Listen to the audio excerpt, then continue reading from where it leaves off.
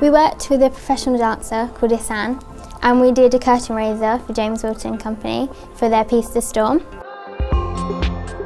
I felt like I connected with the way they move.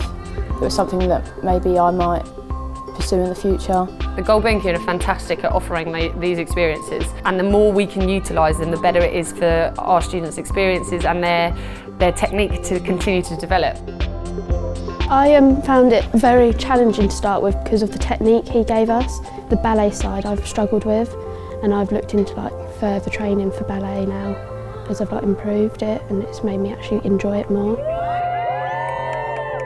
Performing at the Gulbenkian was an opportunity that you wouldn't expect you'd get.